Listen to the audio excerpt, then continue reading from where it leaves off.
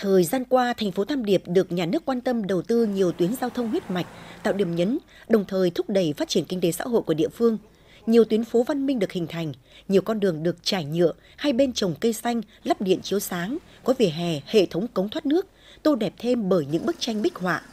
Người dân tích cực tham gia các phong trào giữ gìn vệ sinh, trồng hoa, cây xanh, góp phần xây dựng thành phố sáng xanh sạch đẹp. Bây giờ thì tôi thấy nó vô cùng tuyệt vời. Tất cả mọi vấn đề về đường nhất là đường đi lối lại mấy năm gần đây thì thay đổi hoàn toàn diện mạo hoàn toàn hoàn toàn khác đi lại rất là dễ dàng người dân rất là vui vẻ phấn khởi những ngày này, cán bộ và nhân dân trong thôn Nguyễn, xã Yên Sơn, một trong những đơn vị xây dựng khu dân cư nông thôn mới kiểu mẫu, đang nỗ lực hoàn thiện các tiêu chí chỉnh trang diện mạo, chăm sóc hoa, cây xanh, quyết tâm để được công nhận khu dân cư kiểu mẫu. Chúng tôi đã vận động được cái sức mạnh tổng hợp trong toàn bộ à, cán bộ đảng viên của của của của của, của trong chi bộ, các ban công tác mặt trận, các đoàn viên, các ban chấp hành của các tri hội và toàn thể nhân dân thôn Nguyễn đều cộng đồng trung sức, trung lòng và tập trung tất cả các thứ trong một cái thời điểm nhất định để xây dựng một cái đường hoa. Đã có nhiều đoàn về thăm,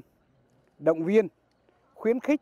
và cũng thấy được cái cái cái cái cái, cái thành quả chúng tôi đã làm được.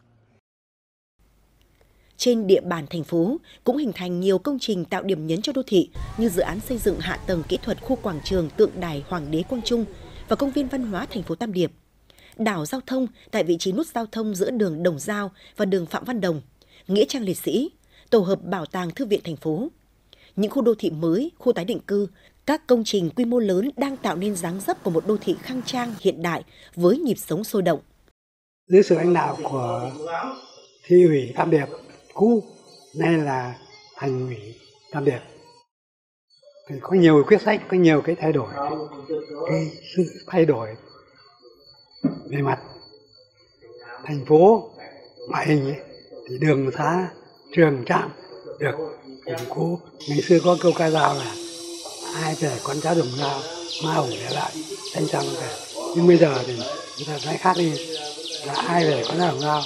má đảo phê sân ma hùng thiếp sinh. Sau 40 năm thành lập thị xã, nay là thành phố Tam Điệp, hạ tầng kỹ thuật trên địa bàn thành phố đã có những bước phát triển vượt bậc, diện mạo mới cho một thành phố trẻ đang hình thành.